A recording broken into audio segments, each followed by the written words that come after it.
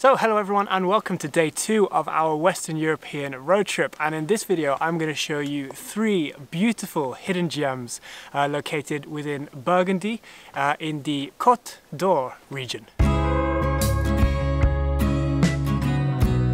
We've just driven around three hours south from our accommodation just outside of the city of Reims and so we're starting our exploration of Burgundy today in a beautiful medieval village.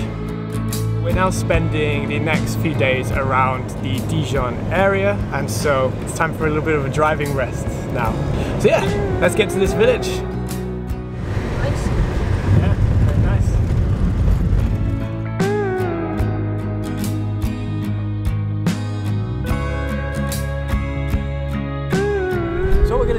Is head down towards that bridge that you can see behind me, which is, um, I think, one of the best viewpoints of this village. Um, and we're going to go through some of the beautiful cobbled streets on the way and uh, yeah, see some of the um, incredible local shops that you can find here. So let's do that.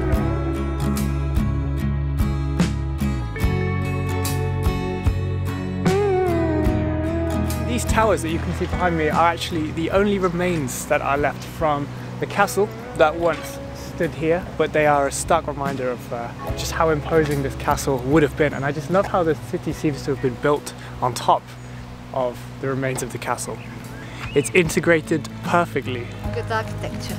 Good architecture. Good architecture. It has a big crack in the middle actually, all the way from the top to the bottom. So hopefully it doesn't break on us.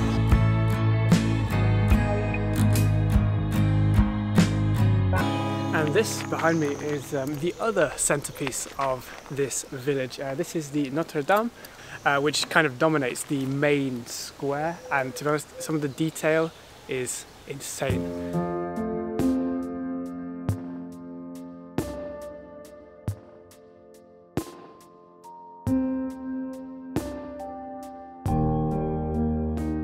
we are going to head into the old cobbled streets now and find some uh, beautiful French food. Hello there. I'm waiting for my food. In a very nice restaurant. Well, we'll see. We'll see, but the food looks good. The food that comes out looks good. This town is actually famous for its beef stew with red wine sauce, which is known as bourguignon. So what's this? Is it good? So we've now just done a 20 minute drive and here we are at our first chateau of France. So now Ellie's got herself ready. Yes, I got changed because everyone here has a very good fashion sense and I was just wearing shorts and I felt bad. Okay, should we go see the chateau? Yeah.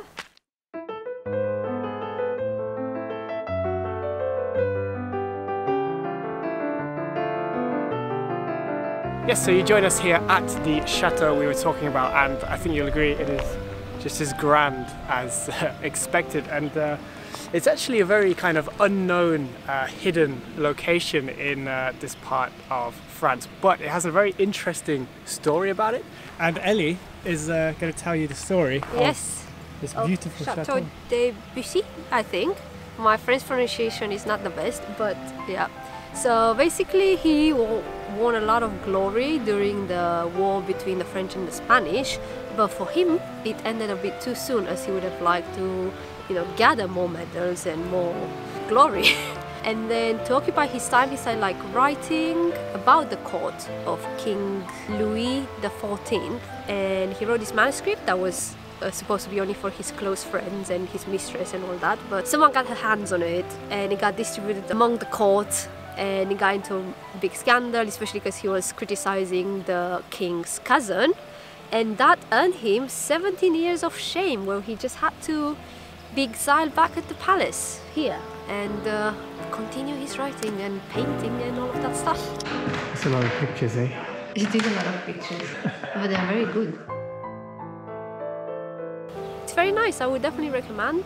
You can definitely see the richness of the place and yeah, good experience. So that ends our exploration of the chateau. So now we are going to see some of the nature of Burgundy and we're going to head to a really interesting looking hiking area home to some very dramatic, beautiful scenery, panoramas. Um, so let's go. Let's go.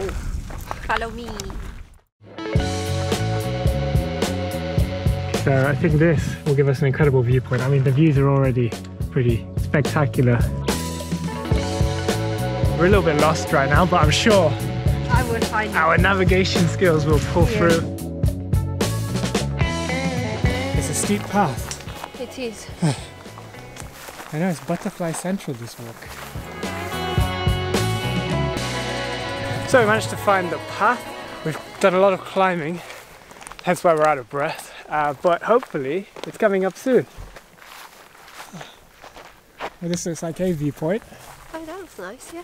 Should we go? Uh, I mean, I see Should we this. have? Yeah.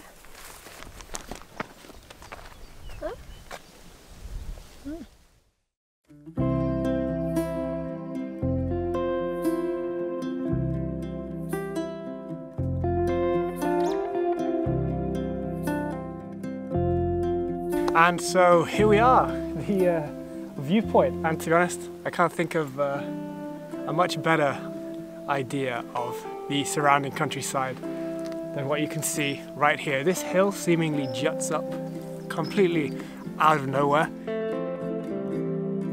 The walk is not too long, only around 30 to 40 minutes. You can extend it to an entire loop that takes you around three hours. It has been a very uh, up and down loop. We are getting in the hills now, and it makes me excited for what's to come in the future after uh, we head even closer towards the Swiss Alps and eventually we'll be exploring them.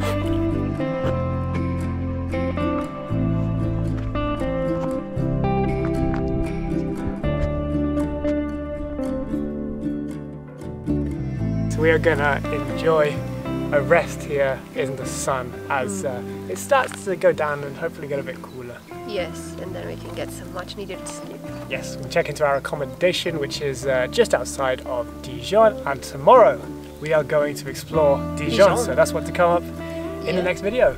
Yeah, exciting. Very exciting. We can so- get some Dijon mustard. of course, Yeah. yes, and we, obviously we're in Burgundy. We We have, have to try, some, wine. wine. We don't really drink wine, but we will give it a go. So, Yeah, we yeah. can't not. Yeah, yeah. We had some Must. wine in our food today. I mean, but I don't think that counts. I don't think that counts. no. Okay, cool. See you in the next one.